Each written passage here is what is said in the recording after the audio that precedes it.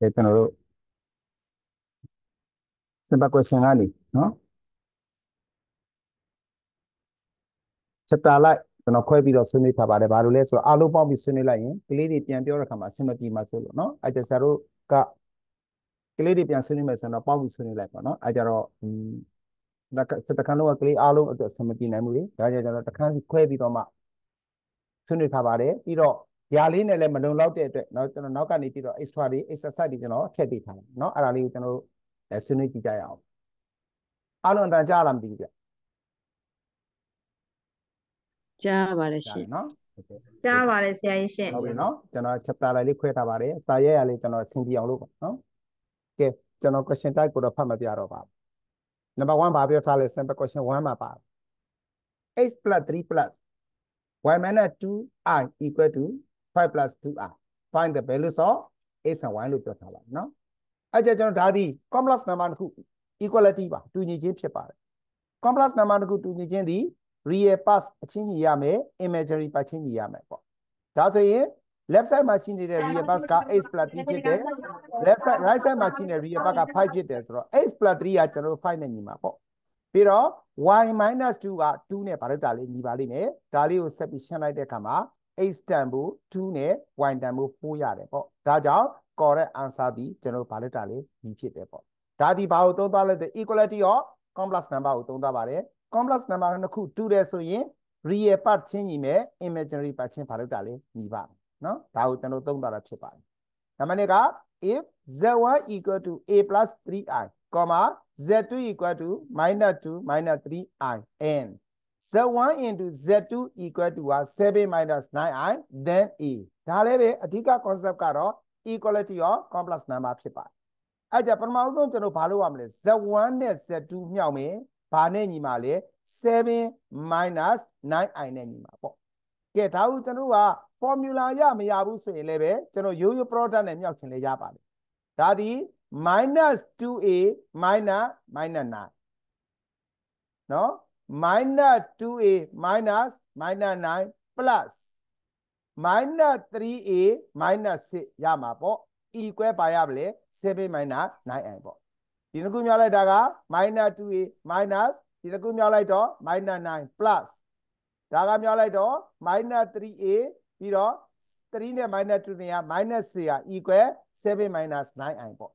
အဲ့လိုမမြောက်တတ်ဘူး formula မရဘူးဆိုရင် a နဲ့ minus 2နဲ့မြောက်တယ် a နဲ့ minus 3i နဲ့မြောက်တယ်ပေါ့ plus 3i နဲ့ minus 2နဲ့မြောက်တယ် plus 3i နဲ့ minus 3i နဲ့မြောက်မယ်ပေါ့ဒီတိုင်းဆရာတို့ step by step သွားရင်လည်းပဲရတာပဲအထူးထူပါပဲအဲ့ကြဒီမှာ real part ကဘာရမှာလဲ minus 2a plus 9ရမှာပေါ့ imaginary part က minus 3a minus 6i equal to 7 minus 9ရပေါ့ဒါဆိုကျွန်တော်က real part ချင်းညီမယ် imaginary part ချင်းညီမယ်ပေါ့ဒီမှာ real part က minus 2a plus 9ဘာနဲ့ညီမှာလဲကျွန်တော်က7နဲ့ညီမယ်ပြီးတော့ minus 3a minus 6ကဘာနဲ့ညီမှာလဲ minus 9နဲ့ညီမယ်အဲ့ဒီ equation နဲ့ကြောင်းကိုကြိုက်တဲ့ equation ကိုရှင်းလိုက်ပါ e တန်ဖိုးဒီကျွန်တော်1လာရပါတယ်အဲ့ဒါကြောင့် correct answer ဒီဘာဖြစ်မှာလဲ b ဖြစ်တယ်ပေါ့ page 1ရပါပြီเนาะရလားဗျ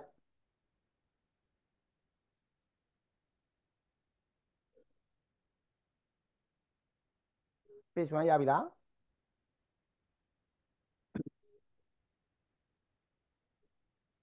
ရပါပြီရှင့် page 2သွားမယ်နော် that three conservative form of z equal minus 1 z equal minus 1ရဲ့ three conservative form ကိုနေထားပါတယ် interval က minus pi less than theta less than equal pi is လို့ပြောထားတယ်ဒါကတော့ principal argument of z ပါနော်ကဲကြည့်ကြစို့ပထမဦးဆုံး z equal to minus 1ကိုကျွန်တော် order pairs နဲ့ရေးရင် minus 1 comma 0ပေါ့ အဲ့ဒါလေးကိုကျွန်တော်က coordinate system နဲ့မှာနေရာချလိုက်တယ် -1,0 သည် negative a စစ်ပါမှာရှိပါတယ်ဒါဆိုကျွန်တော်အာတန်မိုးဒီ square root ရော minus square plus 0 square ဆိုတော့သူကတော့0 1ရမှာပေါ့ sorry အာတန်မိုးဒီ1ရမယ်နော်ကျွန်တော်တီရာတန်မိုးဒီဒါဘယ်လောက်လဲဆိုတော့တီရာတန်မိုးဒီဘယ်လောက်ရမှာလဲပိုင်ရမှာပေါ့တီရာတန်မိုးဒီပိုင်ရမယ်အာတန်မိုးဒီ1ရမယ်အာလဲရပြီတီရာလဲရပြီဆိုရင်ကျွန်တော်က z equal နော်ကျတော့ z = -1 ကို trigo form နဲ့ရေးလိုက်ပါတယ် cos pi plus i sin pi ပါဗျဒါလေးကကျွန်တော်1ဖြစ်ပါတယ်နော်ဒါပါပဲကျွန်တော်ရဲ့အဖြေဒီ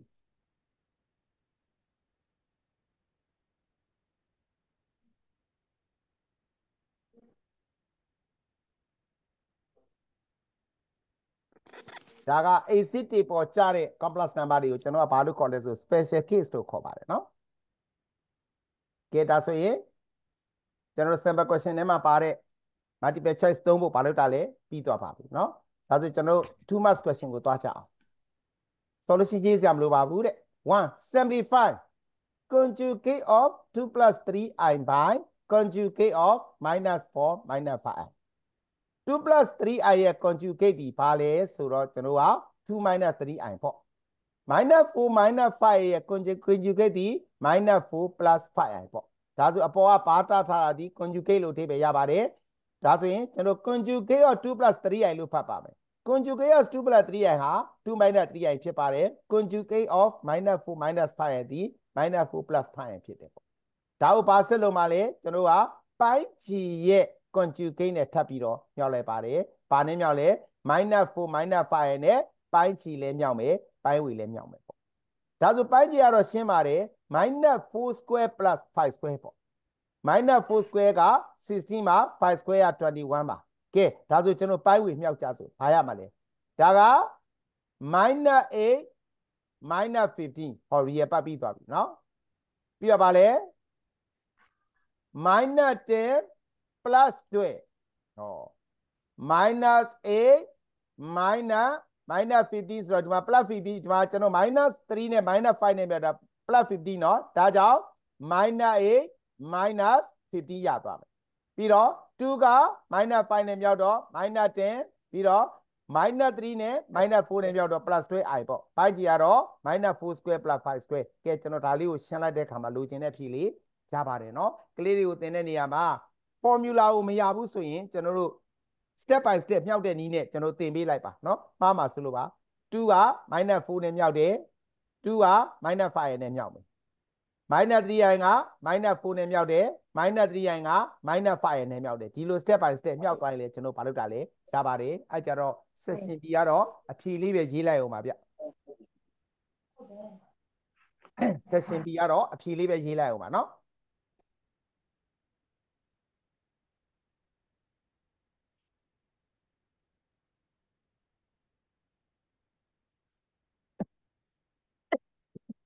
ခုချိန်ထိကျွန်တော်ခေရင်တာပါမှာမပါသေးပါဘူးเนาะနောက်တော့ concern w equals 1 minus 2 w equals 1 minus 2ကိုစဉ်းစားမယ်ပေါ့ where z1 equal to 2 plus 2 to 2 2 to 3i and z2 equal to 2 plus 2i ပေါ့ find w in terms of w equal a plus bi ပေါ့နော် w equal a plus bi ပုံစံကိုရှာခိုင်းတာပေါ့ဒါဆိုကျွန်တော်က w equal to ကကျွန်တော် z1 by z2 ပိုင်း g ရဲ့ conjugate နဲ့မြောက်ပါမယ်ဒါကြောင့်ပိုင်း g ကိုလည်း2 minus 2i နဲ့မြောက်မယ်ပိုင်းဝေကိုလည်း2 minus 2i နဲ့မြောက်မယ်ပေါ့ပိုင်း g ကတော့ရှင်းပါတယ်2 square plus 2 square ဖြစ်သွားမယ်ဗျပိုင်းဝေကြည့်အောင်နော်2ရဲ့2ရဲ့မြောက်တော့4 minus minus 4 root 3ကြည့်နော်ပုံသင်ကြီးကရှိပြီးသား4 minus minus 4 root 3ပြီးတော့ plus ခွင်းစာ minus 4 plus 4 root 3 i by 2 square plus 2 square ပေါ့ဗျာအားလုံးရတယ်နော်ကဲဒါလေးကိုကျွန်တော်ရှင်းလိုက်ပြီဗျရှင်းလိုက်တဲ့အခါမှာဒါဒီဘာဖြစ်သွားမှာလဲ4 plus 4 root 3 plus ဒီကောင်က minus 4 plus 4 root 3 i ပေါ့အဲ့ဒါကျွန်တော်က C ဟာ4ကိုပုံထုတ်မယ်နောက်ကလည်း4ကိုပုံထုတ်ပြီးတော့ real part နဲ့ imaginary part ခွဲထုတ်လိုက်တယ်ပေါ့ဗျအားလုံးအဲ့ဒီအားလုံးရှင်းကြလားဗျပိုင်းဝေရလဲ4ကိုပုံထုတ်တယ် real part နဲ့ imaginary part ကိုခွဲပြီးတော့ထုတ်လိုက်တယ်အဲ့ကြဒီကောင်က4နဲ့ခြေသွားတော့1 plus root 3 by 2 plus ဒါကဘာရမလဲ root 3 minus 1 by 2i ဆိုတာကျွန်တော်ဘာလုပ်တာလဲရပါလိမ့်မယ်အဲ့ဒါ w ပါဗျတနည်းအားဖြင့်ပြောရရင် z1 by z2 ပေါ့အဲ့တော့ကျွန်တော်ခုနပြောသလိုပဲ formula မရဘူးဆိုကျွန်တော်ဘယ်လိုတွက်လို့ရလဲကျွန်တော်ပြောပြီးသားနော်2နဲ့2နဲ့မြောက်တော့4 2နဲ့ minus 2i နဲ့မြောက်တော့ minus 4i ဟော plus 2 root 3i နဲ့2နဲ့မြောက်တော့ plus 4 root 3i plus 2 root 3i နဲ့ minus 2i နဲ့မြောက်တော့ minus 4 root 3i square လို့နော်ကျွန်တော်ကြားပါမယ်နော်ဟုတ်လားဗျ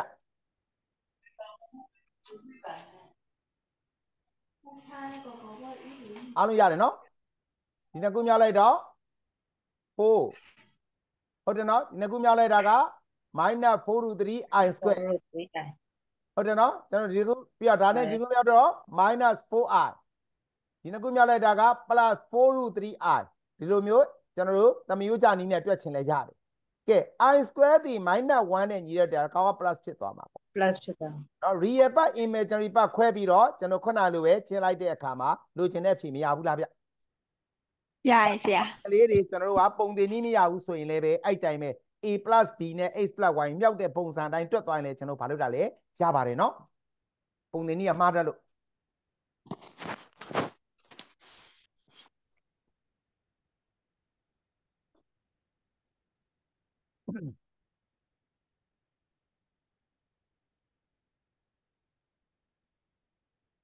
စနပ် question မင်းရင်တော့ပုံစံတူတော့မေးမှာပါနော်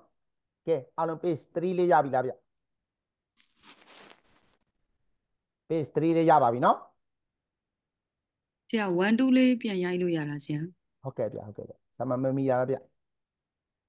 1ကိုမမီဘူးလားဗျဟုတ်မရိုက်လိုက်မိတာဆရာဟုတ် ရတယ်ကျွန်တော် post တင်ပေးမယ်နော်ဆမတာတွေကလေကြားပြီလားဗျဟာကျွန်တော် post တင်ပေးဒါမှာလေးတက်တက်လက်လက်ပဲရှိတော့ရှိတော့ကြားပြီလားဗျရပြီလားဗျဘုမမလို့ဟုတ်ရပါပြီဆရာဒါကောင်းပါလားအဲအဲအဲဒါဒါနည်းနည်းလေးဒါရပြီလားဗျ2ရပါပြီဆရာဟုတ်ကဲ့ဒါ3ကကျွန်တော်နှစ်မျိုးတက်ပြထားတာနံပါတ်3ဗျ page 3ကြားပြီနော်ကျွန်တော် post လေးတင်ပေးမှာပါနော်ကဲဆက်သွားကြအောင်ဆို write the trigonometric form of minus root 3 minus 1 power minus 1ပေါ့ကျွန်တော်ဒီပု္ပ္ပစာနှစ်မျိုးတွက်ပြထားပါတယ်ကြိုက်တဲ့ method ကိုယူလိုက်ပါနော်သူက minus root 3 minus i power minus 1ရဲ့ trigo form ကိုပါလခိုင်းတာလေရှာခိုင်းတယ်နော်ကျွန်တော်က z inverse equal to က1 by z လေ z power minus 1ဒီ1 by z နဲ့အတူတူပဲဒါကြောင့် minus root 3 minus 1 power minus 1ကိုကျွန်တော်က1 by minus root 3 minus 1လို့ကျွန်တော်ပြင်ရေးလိုက်ပါတယ်ပြီးတော့ဘာလုပ်မလဲပိုင်းချီရဲ့ conjugate နဲ့ကျွန်တော်ဘာလုပ်လိုက်လဲမြောက်လိုက်တယ်နော်အဲ့ကြတာက minus root 3 the whole square plus minus 1 square ဆိုတော့ကျွန်တော်က3 plus 1ရမှာပေါ့ပိုင်းချီရပိုင်းဝေရတော့ minus root 3 plus i by 3 plus 1ဖြစ်သွားမယ်ဒါကိုကျွန်တော် real part နဲ့ imaginary part ခွဲလိုက်တဲ့အခါမှာ minus root 3 by 4 plus i by 4ဆိုတာကျွန်တော်ရပြီကဲကျွန်တော်ကဘာပြောင်းရမှာလဲအဲ့ဒီရတဲ့အထီလေးကို trigo form ပြောင်းရမယ် trigo form ပြောင်းမယ်ဆိုတော့ဘာလုပ်တာလဲ order pair ပုံစံလေးနဲ့ရေးလိုက်တယ်ပေါ့ order pair ပုံစံလေးနဲ့ရေးပြီးဘာတန်မှုရှာရမှာလဲကျွန်တော်က r တန်မှုရှာရမယ် square root of 3 by 16 plus 1 by 16ဆိုတော့4 by 16ဆိုတော့1 by 4ပေါ့ဗျာ1 by 4ဆိုတော့ကျွန်တော်အာတန်ဖို့ဒီ1 by 2ရသွားမှာပေါ့ဟုတ်တယ်နော်ကဲဒါဆိုကျွန်တော်ဘာရှာတော့မှာလဲတီတာရှာတော့မယ်ပြတမောတော့တီတာဆိုတာ x by r x by r ဆိုတော့ minus root 3 by 4ကို1 by 2နဲ့စားလိုက်တော့ minus root 3 by 2ရမှာပေါ့ sin တီတာက y by r ဆိုတော့1 by 2ရမှာပေါ့အဲကြတော့ cos တီတာက minus root 3 by root 3 by 2ကလား sin တီတာက1 by 2က scan ကွာတဲ့မှာရှိပါတယ်เนาะပုံလေးဆွဲရမှာတကယ်တမ်းတော့ scan ကွာတဲ့မှာရှိတော့ကြတော့ base to angle ဒီ pi by 6မဟုတ်ဘူးလား ဟုတ်ကဲ့ ဟုတ်တယ်နော် basic ရဲ့ကျွေးကန်ဒီပါလဲ pi by 6ဘယ်ကွာတဲ့မှာရှိတာလဲ second ကွာတဲ့မှာရှိတဲ့အတွက် pi နဲ့ကနေ pi by 6ကိုနှုတ်တာဒီတီတာတန်ဖို့ဖြစ်ပါလိမ့်မယ်ဗျ မျက်စိတွေမှာမြင်ရလားရတယ်နော်မျက်စိမှာမြင်တယ်နော်ပုံလေးဆွဲရမှာလေကျွန်တော်ဘယ်ကွာတဲ့မှာရှိရမှာလဲ second ကွာတဲ့မှာရှိရမယ်ဒါလေးကတီတာဒီတောင်လေးက basic ရဲ့ကျွေးကန်ကလေးက pi by 6ထို့ကြောင့်တီတာတန်ဖို့ဒီ pi by 6အာလဲတီပြီတီတာလဲတီပြီဆိုတော့ကျွန်တော်တို့လိုချင်တဲ့ trigo form ကိုဘာလုပ်လို့ရလဲလို့ရသွားပါပြီ r into cos theta plus i sin theta ပေါ့ဒါက method တစ်ခု နော်ဆရာဒီပုံဒီ method ဒီ minus root 3 minus ရဲ့ the whole power minus 1ကိုကျွန်တော်တခါတည်းတန်းရှာလိုက်အဲ့လိုတန်းမရှာဘဲနဲ့ဘာရင်စဉ်းစားမလဲနော်ကျွန်တော်က minus root 3 minus i ကို z လို့ထားလိုက်သူ့ကိုကျွန်တော် trigo form ရေးလိုက်တဲ့အခါမှာ order pair ရေးလိုက်တဲ့အခါမှာ minus root 3 minus 1ပေါ့အာတန်ဖို့ရှာလိုက်တယ်2ရတယ်ပေါ့တီတာဒီ cos တီတာက minus root 3 by 2 comma sin တီတာကလည်း minus 1 by 2ပေါ့ cos တီတာ minus sin တီတာ minus ဒီဘယ် quadrant မှာရှိမလဲဗျ second တက်ကွာတက်ကွာတယ်မှာရှိမှာပေါ့တက်ကွာတယ်မှာနော် cos တီတာတန်ဖို့ root 3 by 2နဲ့ sin တီတာတန်ဖို့1 by 2က basic အကျွင့်ငယ်ဘယ်လောက်တော့ပိုင်ပိုင်စစ်ဒီတက်ကွာတယ်မှာကျွန်တော်ကတီတာတန်ဖို့လို့ကျွန်တော်ပိုင်နေကနေပိုင်ပိုင်စစ်ကိုနှုတ်လိုက်တော့5ပိုင်ပိုင်စစ်မဟုတ်လား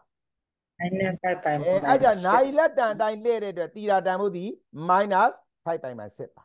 ပိုင်ပိုင်စစ်ကျွန်တော်အာလည်းရပြီတီတာလည်းရပြီဆိုတော့ Harry Z ရဲ့ trigo form ကိုရေးလိုက်တဲ့အခါမှာ2 into cos minus 5 minus 6 plus i sin minus 5 minus 6ကျွန်တော်က Z ရင်ဘတ်လိုချင်တာမို့လား Z ရင်ဘတ်ကိုလိုချင်ရင် R တန်ဖိုးက1 by 2ပါပေါ့ ဒါလည်း minus 1နဲ့မြောက်တယ်ဒါလည်း minus 1နဲ့မြောက်လိုက်တဲ့အခါမှာကျွန်တော်တို့လိုချင်တဲ့ Z ရင်ဘတ် equal to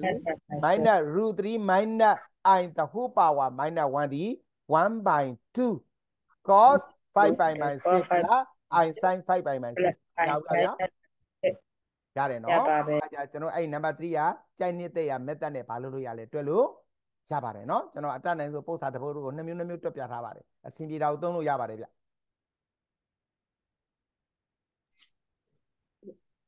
ရာကြီးအဲ့ဒါဆိုလေဟိုဘက်က solu first method မှာကြာဆရာ z က z ပါ z inverse နဲ့ထုတ်ရမှာလားနောက်ဆုံးဖြေရရလားဗျဟိုကျွန်တော်ဒီ impact ကို z လို့ထားခဲ့တာလေ impact ကြီးကိုကျွန်တော် z လို့ထားခဲ့တယ်ဖြေပါဖြေပါဟုတ်တယ်မလား impact ကြီးကို z လို့ထားခဲ့တာဖြစ်သည့်အတွက် z ရရင် impact ရတာမဟုတ်လားဗျဟုတ်ကဲ့ဟုတ်တယ်နော်ဟုတ်အကဲ့တူတူပါပဲဗျနော်ဟုတ်ကဲ့ဟုတ်ဟုတ်ဒီကကြတော့ z လို့ထားခဲ့လို့ဘာကြီးတာလဲဆရာမကြီး z impact လို့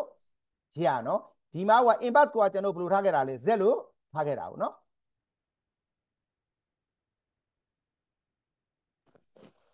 ဆရာကြီးဒီအနောက်ကပြောပြ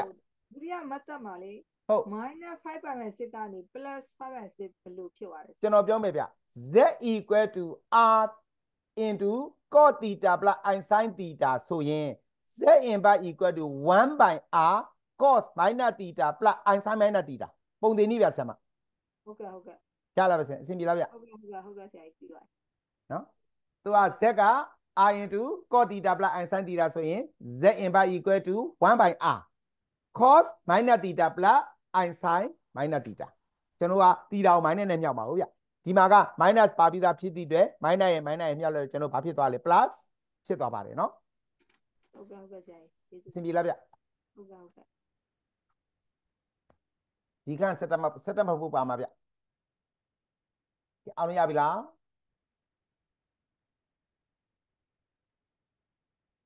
ဆက်လို့ရပြီနော် next page ကိုသွားလိုက်ပါမယ်ဗျကဲဆက်သွားကြ section C ရောက်သွား find the root of လို့ပြောထားပါတယ်အဲ့ကြ root of ကိုမေးရင်ကျွန်တော်က trigonometric form ပြောင်းပြီးမှသာလျှင် root ကိုရှာတဲ့ပုံသင်နည်းဟာကျွန်တော်ရှိတာဖြစ်ပါတယ်ဒါကြောင့်ပထမဦးဆုံး -2 -2i ရဲ့ trigo form ကိုကျွန်တော်အရင်ဘာလုပ်တာလဲပြောင်းရပါလိမ့်မယ် z equal -2 -2i equal order pairs နဲ့ရေးလိုက်တော့ -2, -2 ရတာပေါ့ဟုတ်ပြီအဲ့ကြတော့ဘာလုပ်မလဲအာစာတော့မယ် square root of -2 square က4 plus -2 square ဒီ4ပါဗျ ကျွန်တော်ဘာတွေလိုက်ချင်နေလဲမသိဘူးဗျထိမ့်ပေးပါဦးနော်ဘာလို့ကျွန်တော်ဒီမှာဗီဒီယိုမှတ်တမ်းယူနေရပါဗျဆိုတော့ဘာရမှာလဲ root 8ဆိုတော့2 root 2ရမှာပေါ့ဟုတ်ပြီနော်ဒါဆိုကျွန်တော်ဘာတန်ဖို့ရသွားပြီလဲအာတန်ဖို့က2 root 2ရသွားပါပြီကဲဒီမှာက -2, -2 ကကျွန်တော်ဘယ် quadrant မှာရှိတာလဲဆိုတော့ third quadrant မှာကျွန်တော်ဘာလုပ်တာလဲရှိပါဒါလေးကပါတန်ဖို့လေးဆိုတော့တီတာတန်ဖို့လေးပေါ့အဲ့ကြကျွန်တော်တီတာရဖို့ဘာရှာဖို့လို့လဲဆို basic အကျွင့်ကဲရှာဖို့လိုပါတယ် basic အကျွင့်ကဲဘယ်လိုရှာမှာလဲ cos theta က -2 by 2 root 2 sin theta ကလည်း -2 by 2 root 2ဆိုတော့ဒါဆိုကျွန်တော်က -1 by root 2ရမှာပေါ့ဟုတ်တယ်နော် minus minus ဒီဘာကိုညွှန်းတာလဲတက်ကွာတယ်မှာညွှန်းရှိတယ်ဆိုညွှန်းတာ1 by root 2က basic အကျွင့်ငယ်ဘယ်လောက်ဖြစ်မလဲဗျ sin 1 by root 2 cos 1 by √2 သည် basic အကျွင့်ငယ်ဘယ်လောက်ဖြစ်မလဲ by 4 by 4ဆိုတော့ height တောင်လေးအတိုင်းတာသည် by 4ဖြစ်မှာပေါ့ဒါဆိုသီတာကိုလိုချင်ရင် negative ကိုမစဉ်းစားနိုင်အောင်နော်ပိုင်နေကနေပိုင်ပိုင်4ကိုနှုတ်လိုက်တော့3ပိုင်ပိုင်4နာရီလက်တန်အတိုင်းလှည့်တာဖြစ်သည့်အတွက်သီတာတန်ဖို့ဟာ minus 3ပိုင်ပိုင်4အားလဲရပြီသီတာလဲရပြီဆိုတော့ကျွန်တော်က z ရဲ့ three ကို form သည် z equal r into cos theta plus i sin theta လေအာနေရာက2 root 2ကိုစားသွင်းလိုက်တယ်သီတာနေရာက -3 pi by 4 plus i sin သီတာနေရာက -3 pi by 4ဆိုတော့ကျွန်တော်က trigo form ဘာလို့တာလဲရသွားပြီအဲ့ဒီ trigo form ရပြီဆိုမှကျုပ်ပစ်ရှာမယ်ဗျနော် trigo form ရပြီဆိုမှကျုပ်ပစ်ရှာမယ်ကဲဒါဆိုကျုပ်ပစ်ရှာတဲ့ method မှတ်မိသေးလား WK လို့ တတ်မှတ်မယ်ဆိုရင်ကျုရုက R ဟုတ်တယ်နော်ကျုရုက R cos theta by 3 plus i sin theta by 3ရှေ့က R ကိုကျုရုယူရတယ် theta ကိုကျွန်တော်က3နဲ့စားရမှာပေါ့ဟုတ်လားဗျကျုဗာလဲအရှေ့က R ကိုကျုရုယူရမယ် theta ကိုဗာနဲ့စားမလဲ3နဲ့စားပြီးအဲ့မှာဘာပေါင်းအောင်ပါဆို 2k ပိုင်ပေါင်းရပါအောင်မယ်ဒါကျွန်တော်ပုံတင်နည်းတွေရှိပြီးသားဖြစ်ပါတယ်ဒါကြောင့် WK equal ကျုရုရော2 root 2 into cos minus 2 pi by 3 pi by 4 plus 2k pi by 3 plus i sin minus 3 pi by 4 plus 2k pi by 3အဆင်ပြေလားဗျရလားဗျရပါတယ်ရှင်ရတယ်နော်အားလုံးအဆင်ပြေလားအဲ့ကြကျွန်တော်ဒီထိုးကြောင်ဆိုတဲ့ဒီဟာလေးဒီနေရာလေးမှာဒီလိုလေးထည့်ရင်ပိုကောင်းတယ်ကျူရူရော z ထည့်လိုက်ရင်ကောင်းပါတယ်ကျူရူရော z နော်မထည့်လည်းရပါတယ် ဆိုတော့ကြည့်ကြည့်မယ်နော်ဒါလေးကိုရှင်းအောင်2က root 2 square မဟုတ်ဘူးလား root 2 square နဲ့ root 2နဲ့မြောက်တော့ root 2 3ဓာတ်ပေါ့ root 2 3ဓာတ်ကိုကျူရူယူလိုက်တဲ့အခါမှာ root 2ရမှာပေါ့ဒါ root 2ရသွားပြီနော်ဒီမှာကပုံပိုင်းကြီး4ယူလိုက်တဲ့အခါမှာ minus 3 pi plus 8 pi by 12ဖြစ်သွားပါလိမ့်မယ်เนาะဒါလေးကျွန်တော်စဉ်းစားပါဗျအစင်မပြေရင်ပြောပါအဲ့ဒီအစင်ကရေးကြည့်ပါတယ် k တန်ဖို့ဟာ ကျူရုဆိုတော့ root 3ခုရမယ်ဒါကြောင့် k တန်ဖို့ဟာ0ရယ်1ရယ်2ရယ်ပေါ့ဒါကျွန်တော် theory ရှင်းခဲ့တော့မှဒါတွေကပါပြီးသားဖြစ်ပါတယ်เนาะကဲအဲ့ဒါကိုအစင်မပြေရင်ဆွေးနွေးပါဗျ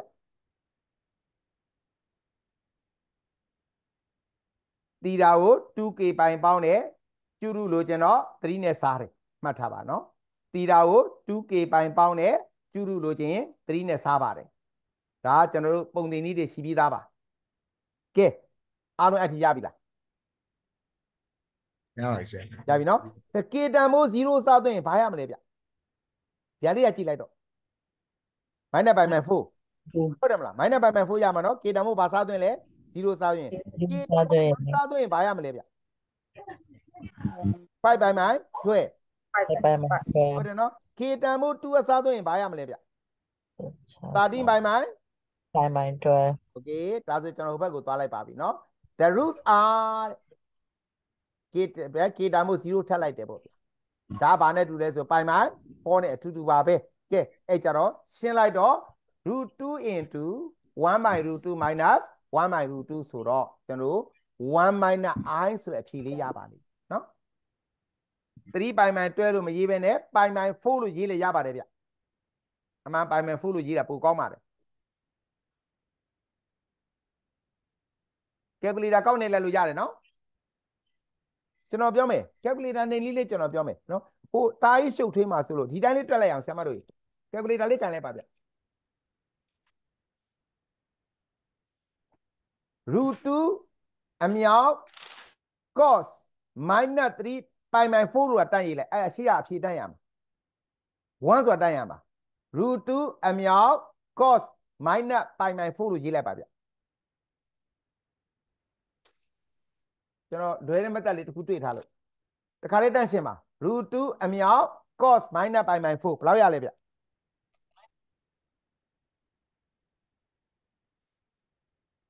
လောက်ရလဲဝမ်းရပါတယ်မရတယ်ဒါဆိုအဲ့နေရာ1လို့ဒီအစင်ကြီးကြော်လိုက်တော့မယ်ဗျာဆရာဒီအစင်ကြော်လိုက်မှာကျွန်တော်ပြောအဓိပ္ပာယ်နားလည်လားဗျ root 2အမြောက် cos minus pi by 4ရန်1ရတယ်အဲ့တိုင်းပဲ root 2အမြောက် sin minus pi by 4 root 2အမြောက် sin minus pi by 4ဘယ်လောက်ရလဲဗျ minus 1 minus 1ဆို i နဲ့မြောက်တော့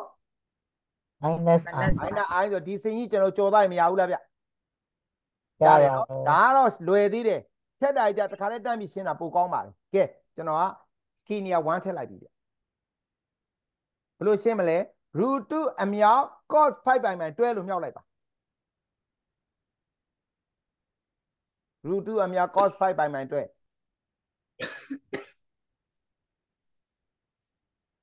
minus 1 plus 3 by 2ဟုတ်ပြီပြီးတော့ root 2အမြောက် sin 5 by တွဲဆရာကြီးအမြောက်နှိပ်တာလေအမြောက်ကလူတူးတဲ့ဝင်ဝင်သွားတယ်အဲ့ဟိုဆမကအဲ့ဟိုလေ left arrow လေး right arrow လေးညနှိပ်လိုက်အောင် root 2ပြီးတော့ right arrow လေးနှိပ် root 2ပြီးတော့ right arrow လေးနှိပ်လိုက်လေဟုတ် အဲ့အဲ့ဒါဆိုအမြောက်ရေးနှိပ်လို့ရပြီဗျ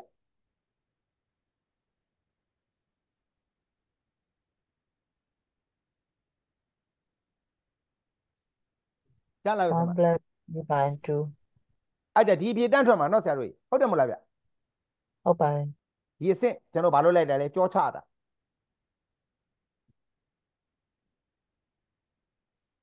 W2 root 2 right arrow လေးနှိပ်မယ် cos 13 by my 12တန်းနေလိုက်ပါ root 2 right arrow နှိပ်မယ်အများ cos 30 by my 2 minus 1 by root 3 by 2အဲ့ဒီကောင်ဆရာအဖြေတန်းထွက်တာနော်ဟုတ်တယ်ဆရာအဲ့ကြ root 2အမြောက် sin 30 by my 12 You drew a map by 13 by blind drawing. Minor root 3 plus 1 by 2. ကျွန်တော်အဲ့ဒါလေးကပိုကောင်းတယ်နော်ဆ One ရာမဖြေ minus တတ်ထွက်တာနော် three by- ဟုတ်တယ်ဆရာ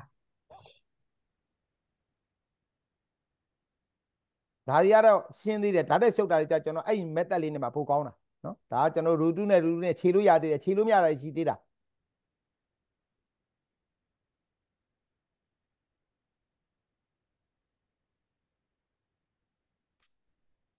ကဲဒီပု္ပ္ပစာအဆင်ပြေကြိုက်လဲဆွေးနွေးပါဗျ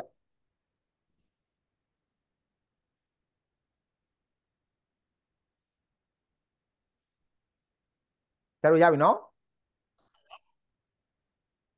ဟုတ်ရပါပြီဆရာ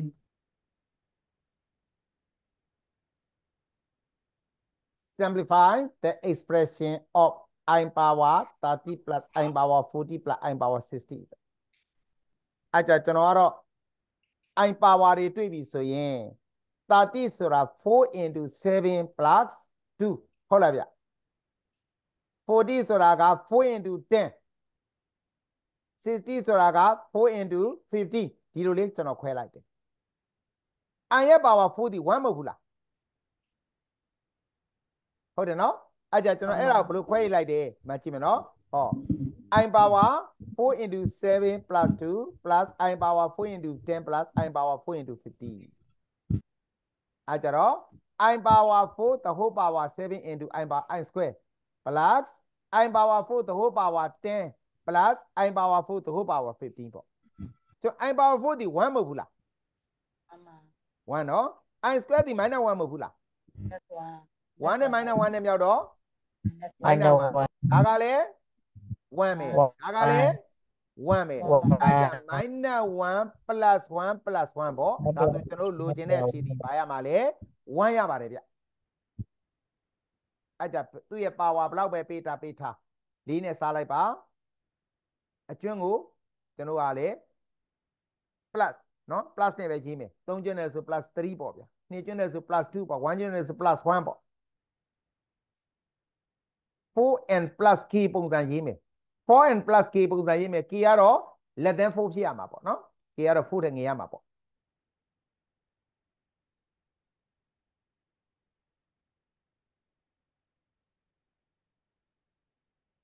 သူကသုံးမှတ်တန်ဖြစ်သည့်အတွက် working တောင်းထားပါတယ် working တောင်းထားတဲ့အတွက်ကျွန်တော်ဒီ step by step လေးတိုင်းတွက်ပေးပါမယ်ဗျနော် working တောင်းထားတာဟုတ်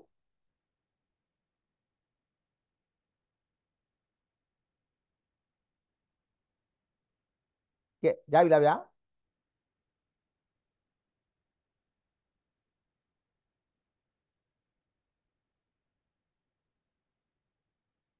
ဝါကင်တောင်းထားတဲ့အတွက် calculator သုံးလို့လည်းကျွန်တော်ဗာလဲအဆင်မပြေပါဘူးဒီတိုင်းလေးပဲတွက်ပြရမှာပါနော်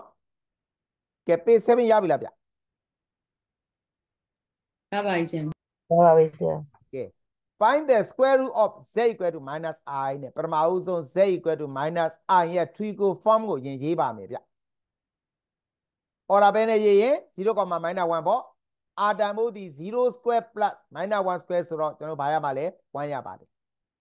ကဲအဲ့ဒါလေးကျွန်တော်ပုံလေးဆွဲလိုက်တယ်ပေါ့ဗျာပုံလေးဟော r တန်ဖိုးကျွန်တော် 0, minus 1ဆိုဒီနေရာလေးပါပဲဒါဒီဘာကိုကိုစားပြုတာလဲ minus i ပေါ့ဒါလေးကဘယ်လောက်လဲ1ရှိပါတယ် ကဲတီတာတန်ဖိုးဒီဘယ်လောက်လဲဗျ minus pi by 2เนาะဒါဆို z equal to minus 1ကို3ကို form နဲ့ရေးမယ်ဆိုရင် z equal to 1 into cos minus pi by 2 plus i sin minus pi by 2ပေါ့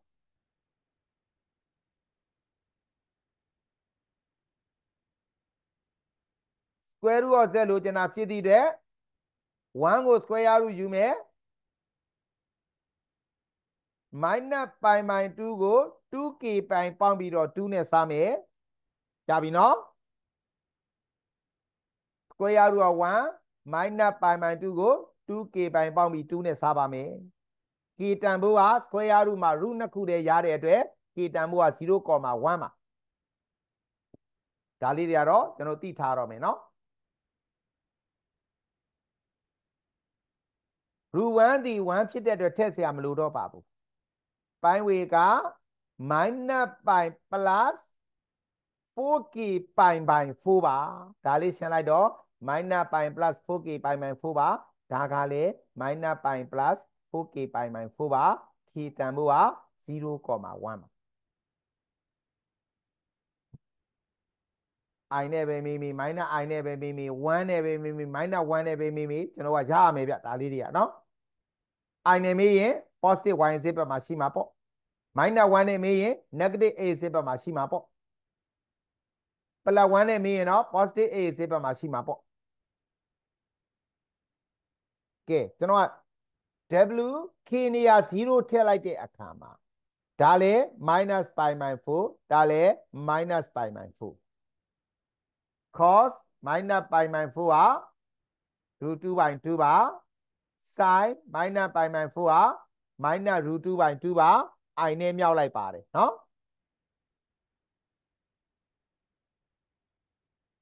မရဘူးဆိုရင်လည်းကဏ္ဍပေါင်းဆက်ကောက်နှိပ်လိုက်ပါဗျကလေးတွေလေမှားမှာဆိုရင်1စားသွန်းတော့3 pi by 4ပါ cos 3 pi by 4 plus i sin 3 pi by 4 calculator နှိပ်လိုက်ရပါတယ်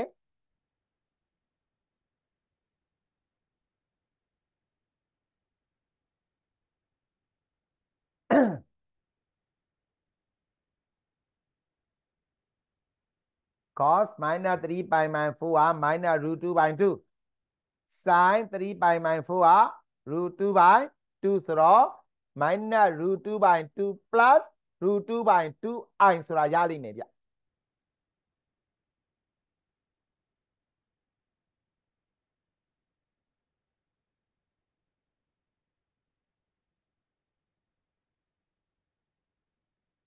ကဲဒီ page အိတ်လေးအဆင်ပြေကြလားဗျာ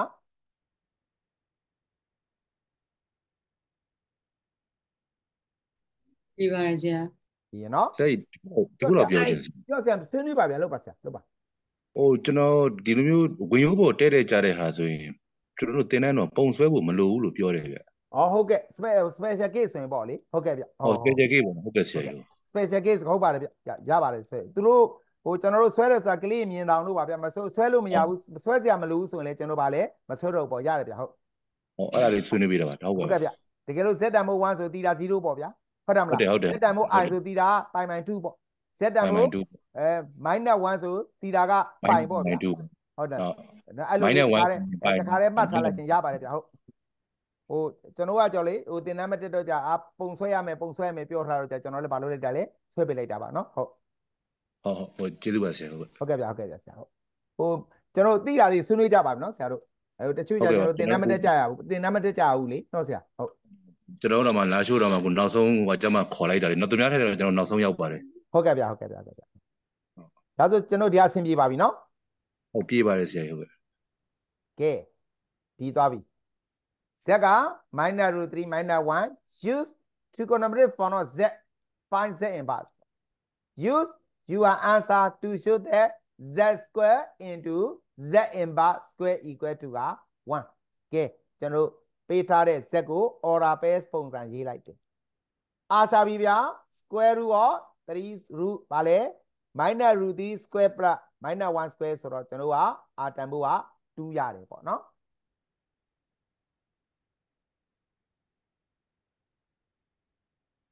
minus minus ဖြစ်သည့်အတွက်ကျွန်တော် third quadrant မှာကျွန်တော်ရှိပါလိမ့်မယ်เนาะတီတာက third quadrant မှာရှိမယ်ဒါဆို negative angle ပေါ့ဗျာ basic acute angle ရှာဖို့ cos theta က minus root 3 by 2နဲ့ sin theta က minus 1 by 2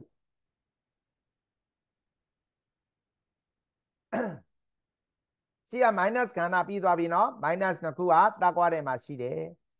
cos root 3 by 2နဲ့ sin 1 by 2ရဖို့ basic အကျွင့်ကဲဘယ်လောက်လဲဗျ ပိုင်ပိုင်စစ်ပါ pi by 6ကျွန်တော်တို့ဖြစ်ပါလိမ့်မယ် ထို့ကြောင့်တီတာဒီ pi minus pi by 6ဆိုတော့5 pi by 6နိုင်လက်တန်အတိုင်းလှည့်ထားတဲ့အတွက် minus 5 pi ပို by င်ပိုင်အားလေးရပြီတီတာလေးရပြီဆိုတော့ z ရဲ့ trigon trigo form ကိုရေးလိုက်ပါတယ် z equal to cos minus 5 pi by 6 plus i sin minus 5 pi by 6 use trigonometric form တော့ z ဆိုတာပြီးတော့ m z inverse ဆိုတော့ဒါလေးက1 by 2ဖြစ်မသွားဘူးလားဟုတ်ဒါက5 pi by 6ဖြစ်သွားမယ်ဒါလည်းပဲ5 pi by 6ဖြစ်သွားမယ်ပေါ့နော် z inverse equal to 1 by 2 cos 5 pi by 6 plus i sin 5 pi by 6 z equal r into cos theta plus i sin theta ဆိုရင် z inverse equal 1 by r cos minus theta plus i sin minus theta ကျွန်တော်ဒါပုံသင်နည်းရှိပြီးသားပါဗျ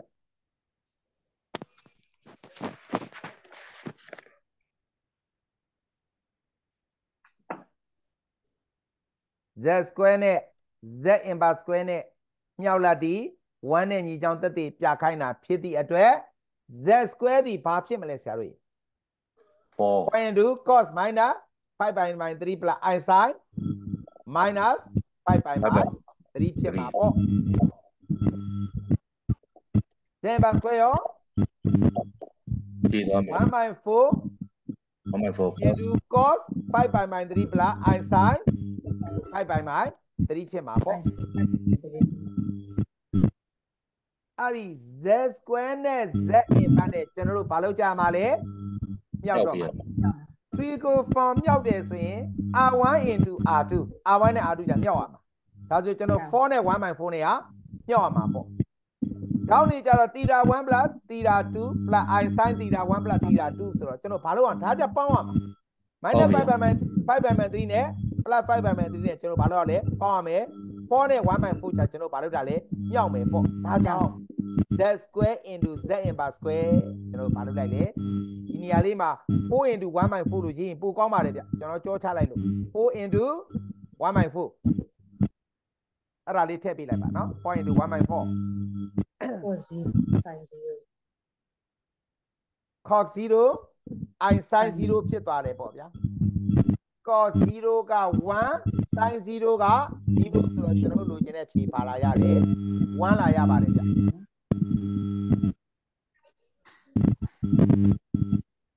အစင်မပြေတာဆွေးနွေးပါနော်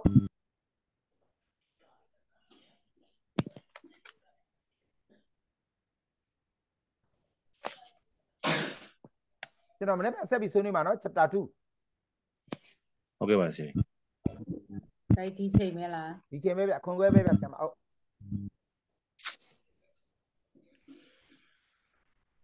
အားလုံးဒါလေးဆင်နေကြရလားဆရာတို့ကြီးရပါဆရာပြောဗျဆရာမပြောဗျ ဟဟွာလေ z z square z inverse square မှာမူရင်းတန်ဖိုးထည့်လို့ရလားဆရာဘယ်မူရင်းတန်မို့လေးပဲဆင်ပါကြီးဟွာ z နေရာမှာ minus root 3 minus i တန်ကာဖိုးတီပြီးဆီယံတော့ကာတီဆီယံ form နဲ့လားဆင်ပါဟုတ်ဟုတ်ကဲ့ဆဒီရာမှာဆင်ပါ using trigonometric form ဆိုဒီမှာပါလာပြီလေဆင်ပါနော်ဟုတ်ကဲ့ဆရာနော် तू ကဒါကိုသုံးခိုင်းထားတာဖြစ်သည့်အတွက်ဟို complaint တက်မယ်ဆိုတော့ तू ကဒီမှာတော့ full stop ချတာဒါတက်တက်တော့တက်တက်ပေါ့ဗျာနော်ဆင်ပါဒီမှာကျွန်တော် z inverse ကကျွန်တော် trigo form ပဲရှိတာလေ နော်အဆင်မဘယ်လိုမြောက်ချင်တာမို့လားဟို minus root 3 minus i နဲ့1 by အဲ့လိုမြောက်ချင်တာဆင်ပါဟုတ်တယ်ဟုတ်တယ်ဆရာပိုပိုရှုပ်တာမဟုတ်ဒါလည်းနှစ်ထပ်တင်အောင်မယ်ကျွန်တော် inverse ကိုလည်းနှစ်ထပ်တင်မယ်ဆိုပိုပြီးရှုပ်မသွားဘူးလဲဆင်ပါရှုပ်သွားပြီဆရာရှုပ်သွားရင်နော်အဲ့ကြဘာပဲသုံးလိုက်မလဲ trigo form မယ်သုံးလိုက်တော့မယ်ဆရာကျွန်တော်ဒီမှာလေး z z ကလည်းဘယ်နှစ်ထပ်တင်အောင်ပါတော့နှစ်ထပ်တင်နှစ်အောင်ထပ် z ရင်ဘက်ကလည်း နှစ်ထပ်တင်ရမယ်ဆတာရာပြီးကိုနှစ်ထပ်တင်ရပါလေဟုတ်တယ်မို့လားဗျအဲ့ကြပို့ပြီးတော့ဘာလုပ်တာလဲရှုပ်သွားပါမယ်နော်အဲ့ကြဘာပဲသုံးလိုက်မလဲအလွယ်ကူဆုံး trigo form မယ်ဘာလုပ်လိုက်လဲအသုံးပြုလိုက်ပါဗျာနော်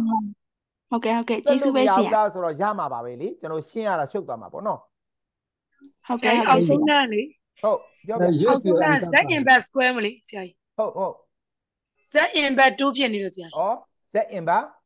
square square စီ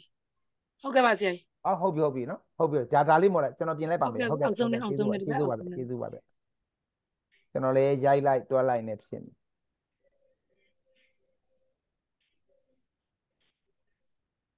ဟောခဏနော်ဆရာတို့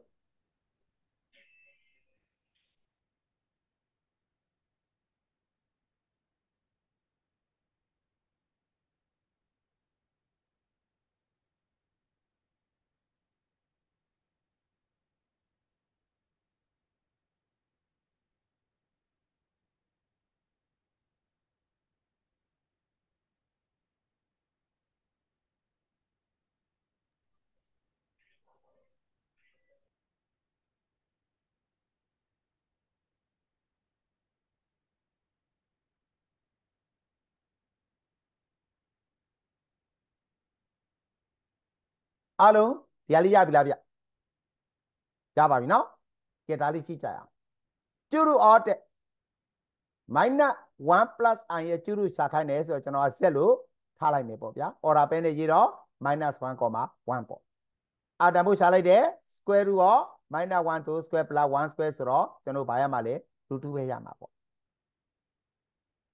h တန်ဖို့က minus y 5 plus ဆိုတော့ကျွန်တော်ဘယ်မှာရှိမလဲ second quadrant မှာရှိပါလိမ့်မယ်ဒါတီတီတာပါဗျเนาะဆရာဒီကောင်လေးကပုံတောင်းတယ်မို့လားဗျဆရာ ဟောဒါတွေကတော့တောင်းတယ်ဆရာ ဟုတ်ကဲ့เนาะအဲ့ဒါလေးကျွန်တော် view set ပါလိမ့်မယ်ပုံတောင်းပါတယ်ဗျเนาะ special case တဲ့ဆိုပါမိတယ် ဟုတ်ကဲ့ဗျဟုတ်ကဲ့လေကဲတီတာရဖို့ cos theta က -1 -1 by root 2 sin theta က1 by root 2ပေါ့ရှေ့က minus plus က quadrant နေရာရွေးပြီးပြီ basic အကျွဲငယ်ကြည့်ကြစို့ cos 1/√2 နဲ့ sin 1/√2 ရဖို့ရန်အတွက် basic အကျွဲငယ်က pi 4ဖြစ်ရတီတာလိုချင်တော့ pi နဲ့ကနေ pi 4ကိုနှုတ်လိုက်တော့တီတာတန်ဖို့က3 pi 4ရတယ်နော်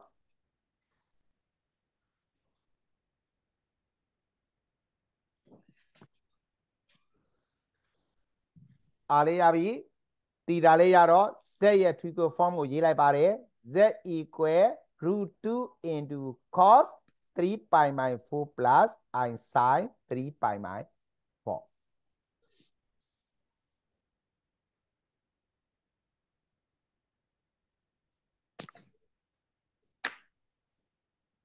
ကျူရူ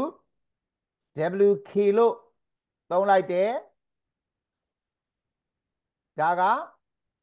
ကျူရူရော root 2တူတူစီရူရော2ဖြစ်သွားမှာပေါ့နော် ဟုတ်ပါတယ်ဟုတ်ပြီဒါက3 pi by 4 plus 2k pi by 3 plus i sin 3 pi by 4 plus 2k pi by 3ပါနော် k တန်ဖို့ကကျူရူဖြစ်သည့်အတွက်0 1 2ဖြစ်ပါလိမ့်မယ်ရှင်းလိုက်တယ်နော်ရပြီလားဗျဟုတ်ရပါတယ်ဆရာ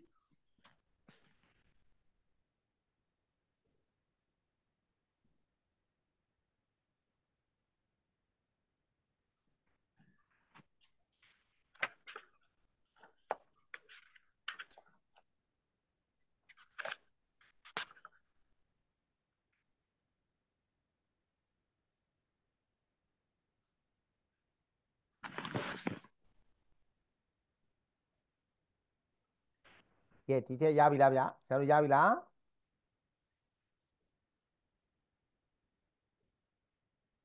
ရပါရှင်ကဲ W0 ရှာမယ်နော် W0 ရှာတော့ pi my 4 plus i sin pi my 4ပေါ့ W1 ရှာရင်11 pi my 12ပေါ့တွဲ W2 ရှာရင်19 pi my 12ဖြစ်မှာပေါ့နော် pi my 4ကတော့ root 2 by 2ပေါ့နော်အဲကြတော့ကျွန်တော်တို့အဖြေလေးရပါပြီ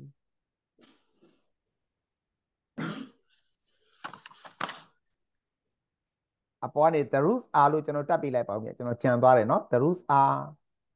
the the churus are the chu the churus are ပေါ့နော် the churus are require churus are ပေါ့ဒါမှကြိုက်လို့တက်လို့ရပါဟုတ်ကဲ့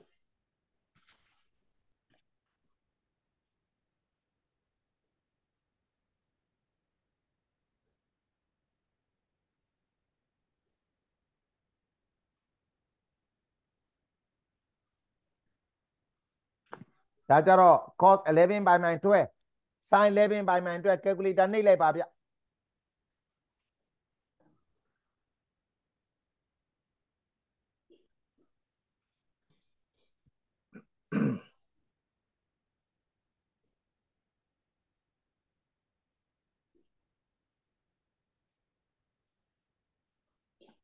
ကဲရပြီနော်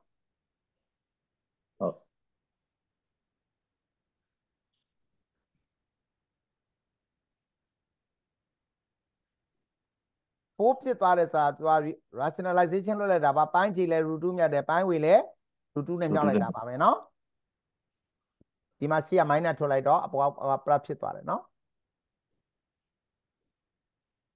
ဒါတော့အဆင်ပြေပါတယ် W2 calculator နှိပ်လိုက်ပါ cos 90 by min 12 sin 90 by min 12